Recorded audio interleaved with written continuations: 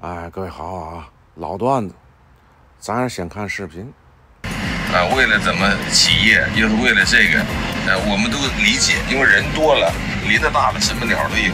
真正不理解的，还有说什么这个送给人家的叫什么居住权，这不神经病吗？这都怎么想的？你说一年的居住权和两年居住权，你给人家人要吗？你这不骂人吗？这两天这事儿的热度可不小。本来我刚才都做了一个视频，我就想跟大家分享一下啊，我对这事儿是怎么看。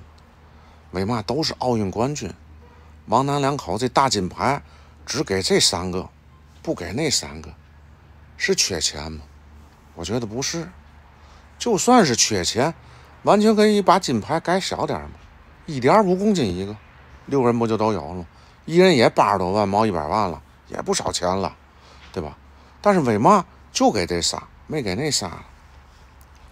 我本来刚才那视频都做完了，都开始配字幕了，我一想不行，不能发，因为国家现在正打击这个呢。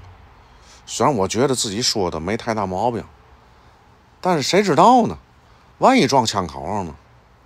我一看算了，还是别发了。不过呢，最后还是一句话啊，就是那是人家自己的钱，人家想给谁就给谁，就是给谁都没毛病。